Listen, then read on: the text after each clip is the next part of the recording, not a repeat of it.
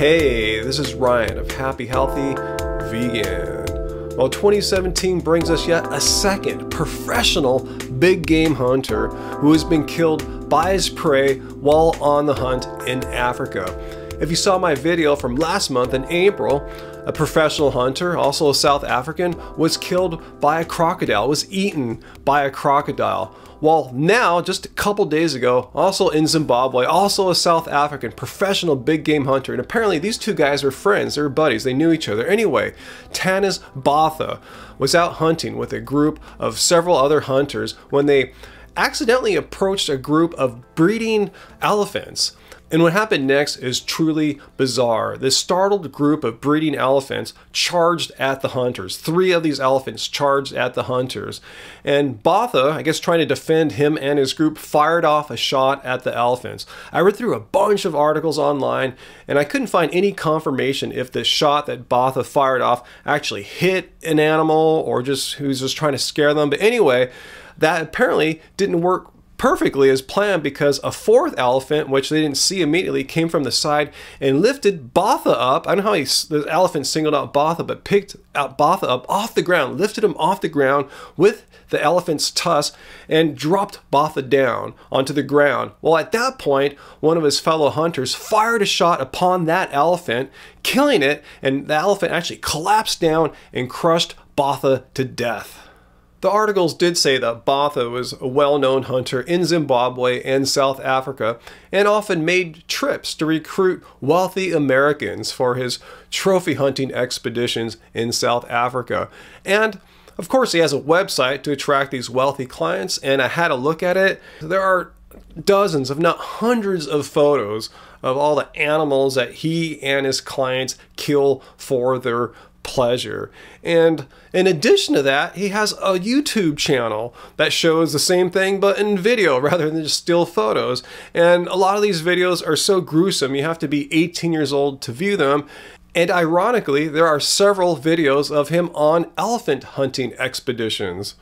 I'm always curious to see how people react to stories like this because I know how vegans feel about this, but even before I went vegan, I remember always being repulsed when I saw stories like this about trophy hunting or when I heard about like, you know, a friend's dad who would go on hunting trips. Like, so unnecessary. Like, they can go to supermarkets. It's not a survival situation. It's completely unnecessary and inhumane and barbaric to hunt animals in this day and age. It's completely needless killing. So let's see how people react to this. Well, on outdoorhub.com in the comments, first comment, I love hearing stuff like this.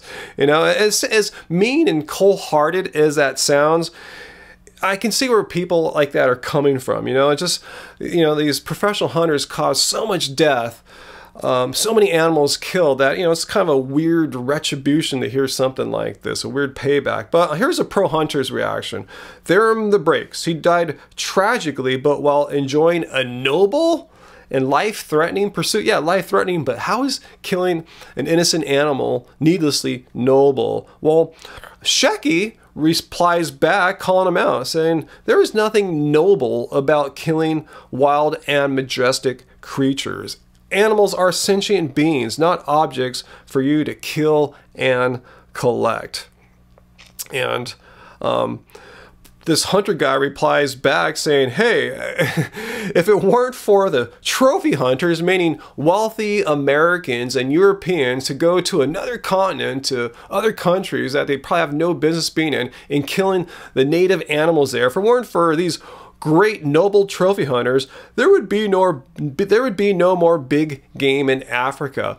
Like really, so that's why you guys do trophy hunting. You guys are all just environmentalists. You care about ecology. You travel to Africa. You pay thousands and thousands of dollars to kill animals and bring their heads home and mount them on their on your in your house walls just so you can save the animals. That makes no freaking sense. It makes no sense. It's just a lame justification to make you feel good about doing something that's completely barbaric.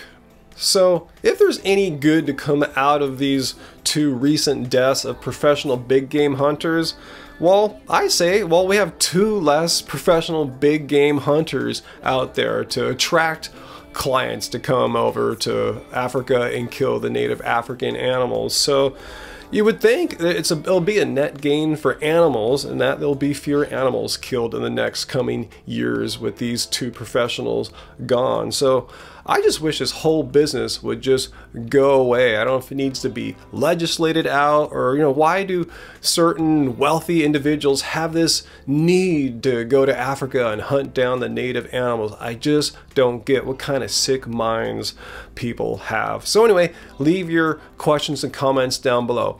How did you feel? How did you react when you heard this news? Did you feel like that one commenter there that thought it was great news? Is that a proper reaction to have? I know it kind of seems like it's lacking compassion, but is, is you know, since so many animals get killed, is it kind of, um, you know, wrong to kind of cheer for the animal when the animal gets a win once in a while? I don't know. It's a hard and difficult moral question, so comment down below. Help me reason through this as well. If you learned something from this video, if you want to see trophy hunting expeditions like this band, hit like, send a message out there, help me get this video seen by more people.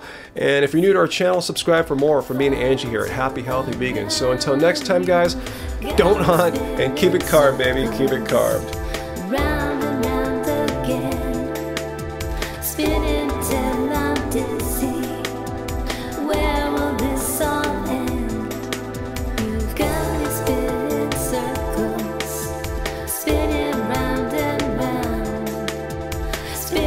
Yeah.